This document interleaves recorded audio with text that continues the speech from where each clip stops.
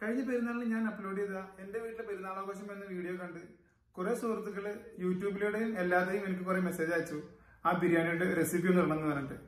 അപ്പോൾ ഇന്നത്തെ വീഡിയോ അതിനെ കുറിച്ചിട്ടാണ്. ഞാൻ ഷെരീഫ് കൊച്ചിനൂർ ഷൂട്ട് സ്പോട്ടിന്റെ പുതിയൊരു അധ്യായത്തിലേക്ക് ഏവർക്കും സ്വാഗതം.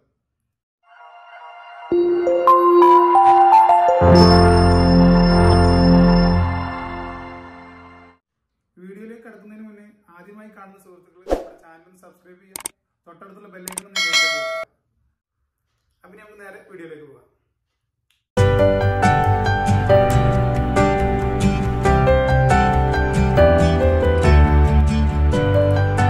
ആദ്യം തീ കത്തിച്ച് ചട്ടി അടുപ്പിൽ വെച്ചിട്ട് ആറ് കെ ജി ഒഴിക്കും.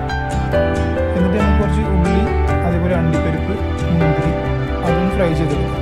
ഇത് നമുക്ക് ദമ്മിടുമ്പോഴും പിന്നെ അവസാനം ചോറൊന്ന് വെക്കുമ്പോൾ അതിന് മുകളിൽ ഡെക്കറേറ്റ് ചെയ്യാനുള്ളതാണ്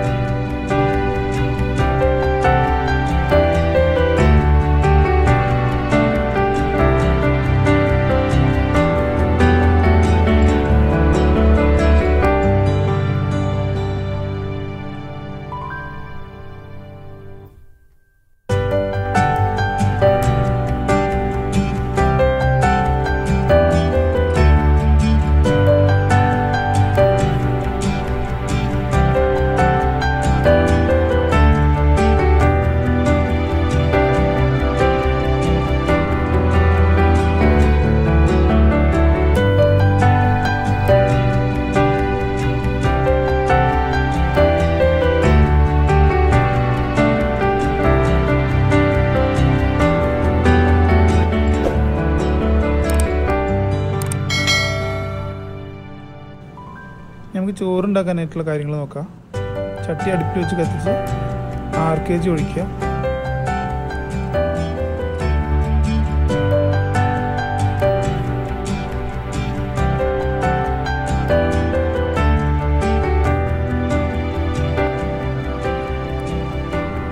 പിന്നെ കുറച്ച് വെളിച്ചെണ്ണ കൂടി നമ്മൾ ഒഴിച്ചു കൊടുക്കണം.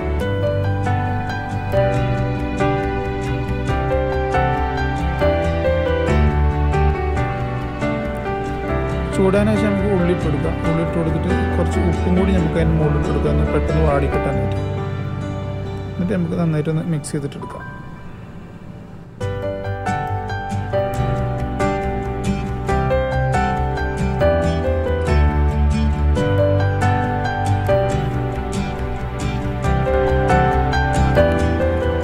നന്നായി ഒന്ന് വാടിയതിനു ശേഷം നമുക്ക് ഇഞ്ചി അരച്ചത് വെളുത്തുള്ളി അരച്ചത് പച്ചമുളക് അരച്ചത് കൊടുത്തിട്ട് നന്നായിട്ട് ഇളക്കി കൊടുക്കുക. അതൊന്ന് മിക്സായി പാകമായിട്ട് വരുന്ന സമയത്ത് നമുക്ക് കുറച്ച് തക്കാളി അരിഞ്ഞത് ഇട്ടുകൊടുത്തിട്ട് നന്നായിട്ട് ഇളക്കി കൊടുക്കുക.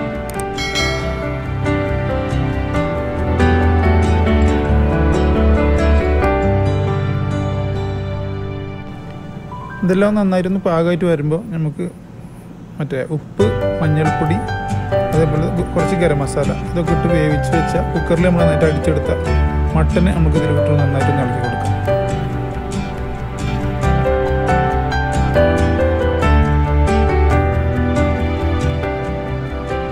ഇതൊന്ന് പാകമായിട്ട് വരുമ്പോൾ രണ്ട് സ്പൂൺ മല്ലിപ്പൊടി ഒരു സ്പൂൺ കുരുമുളക് പൊടി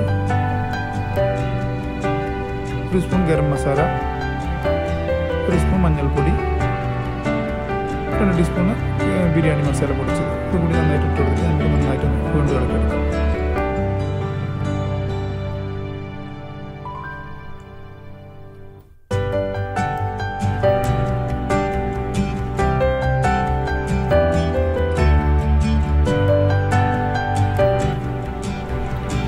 സെറ്റ് ചെയ്തിട്ട് ഉപ്പിന്റെ കുറവുണ്ടെങ്കിൽ നമുക്ക് ഉപ്പൊന്ന് എടുത്തിട്ട് വീണ്ടും ഒന്ന് മിക്സ് ചെയ്ത് കൊടുക്കാം കേട്ടോ.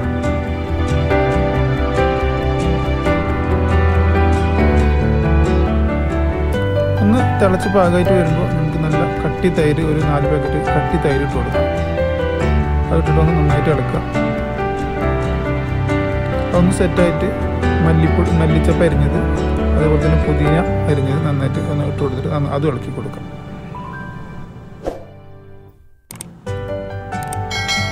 കൂട്ടത്തിൽ കുറച്ച് വേപ്പിന്റെ കൂടി നമുക്ക് ഇട്ട് കൊടുക്കാം ഇതിനകത്തേക്ക്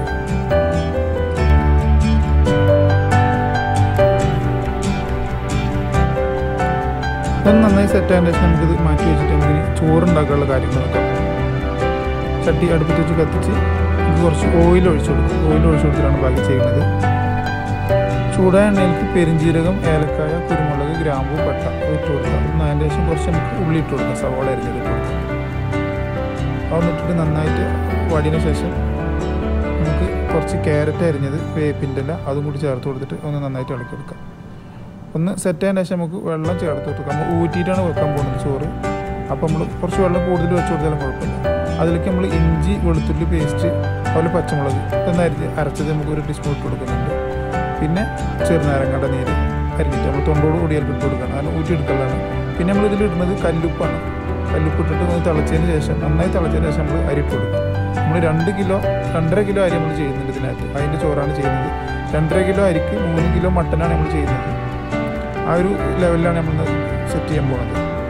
ഒന്ന് ആൾ ആൾ തിളച്ച് വരട്ടെ. ഒന്ന് സെറ്റ് ആയതിനു ശേഷം നമുക്ക് ഇത് ദമ്മിടാൻ പോവാം. ദമ്മിടാനായിട്ട് നമ്മൾ നല്ല കട്ടിയുള്ള തവ പാത്രം ഉണ്ടെങ്കിൽ അത് വെച്ച് കൊടുത്തിട്ട് അതിന്റെ മുകളിലാണ് നമ്മൾ മസാല പാത്രം വെക്കുന്നത് അത് വെച്ചതിന് ശേഷം നമ്മൾ ഓരോന്നായിട്ട് കുറച്ച് മല്ലിച്ചപ്പ് പുതിന അത് ഓരോന്ന് ഇട്ടിട്ട് നമ്മൾ ഓരോന്ന് ഓരോന്ന് ഓരോ ലെയർ ചെയ്യാൻ പോകണേ നമ്മൾ അല്ല ബിരിയാണി സാധാരണ പോലെ നമ്മൾ ദമ്പിടുന്ന പോലെ തന്നെ. നമ്മൾ നേരത്തെ വറുത്ത് മാറ്റി വെച്ചിരുന്ന ഉള്ളി അണ്ടിപ്പരിപ്പ് മുന്തിരി അതെല്ലാം നമുക്ക് കുറച്ച് ഇട്ട് കൊടുക്കാം. പിന്നെ കുറച്ച് റോസ് വാട്ടർ അതുപോലെ തന്നെ പൈനാപ്പിൾ എസൻസ് ഉണ്ടെങ്കിൽ അത് കുറച്ച് വെച്ചിട്ട് കുറച്ച് സ്മെല്ലിനായിട്ട് പിന്നെ കുറച്ച് നമ്മൾ നേരത്തെ ബിരിയാണി മസാലയുടെ പൊടി ഉണ്ടെങ്കിൽ അത് കുറച്ചൊന്ന് ഇട്ട് കൊടുക്കാം. കുറച്ച് ആർ കെ ജി അതെല്ലാം ചേർത്തിട്ട് നമ്മൾ ചോറ് അതിന്റെ മുകളിൽ അതിന്റെ മുകളിലാണ് ഞങ്ങൾ ഇത് ചെയ്യാൻ പോകുന്നത്.